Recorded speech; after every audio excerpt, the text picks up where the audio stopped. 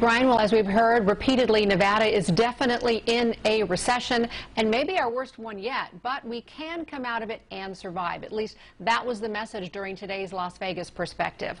Here's what they had to say. It is an event that projects what our economy is going to look like moving forward. Economist Jeremy Aguero of Applied Analysis says federal stimulus packages are vital to a Las Vegas recovery and that the CARES Act is propping our economy up right now. He pointed out that Nevada lost a decade decades worth of employment growth in just two months, and a large amount of it from hospitality industries. More than one out of every three initial unemployment insurance claims has been from that industry. It hit the heart of our economy. Not surprising given the lack of ability to travel. Economic development and diversification may be more important today than at any point in the state of Nevada's history.